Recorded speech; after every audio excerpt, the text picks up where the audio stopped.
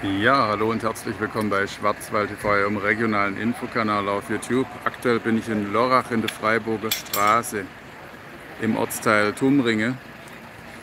Und hier wurde um 16.35 Uhr am heutigen Dienstag, der 26. Juli 2022, ein Brand mitgeteilt.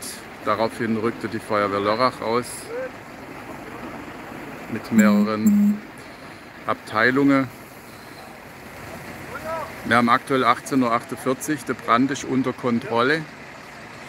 Es gab glücklicherweise keine Verletzte und die Stadt Lörrach, die konnte für die drei Hausbewohner, die zum Glück auch unverletzt geblieben sind, eine Unterkunft organisieren. Der Brand hat stattgefunden in der Burgstraße. Ich bin hier in der Parallelstraße unten in der Freiburger Straße. Ja. Morgen äh, kommen die Brandermittler der Polizei und schauen dann nach der Brandursache, denn die ist aktuell noch unklar.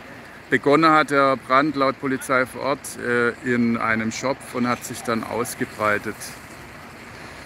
Ja, das Haus ist nicht mehr bewohnbar.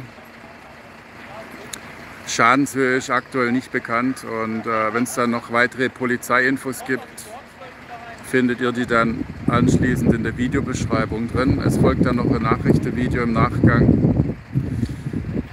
Ja, ich habe bereits schon äh, ziemlich am Anfang Rauchsäule bekommen und ja, das ist das Ergebnis leider. Schon wieder ein Wohnhausbrand, gestern erst in Schlingen Ortsteil Obereggenen. Und parallel hat es dann noch am Nachmittag in Grenzach-Wiele einen Brand gegeben, ein Mehrfamilienhaus.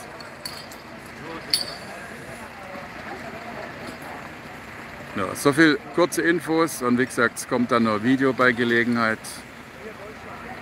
als Update nach. Ja, das ist eigentlich hier total schade. In diesem Sinn alles Gute, Liken als Danke für die Berichterstattung und weitere Bilder demnächst auf Instagram. Ich verlinke dann den Link von Instagram hier unter denen. Alles Gute und dann und tschüss. Es gab natürlich dadurch auch ziemlich viel Stau unter auf der B317 und äh, schönen Abend noch.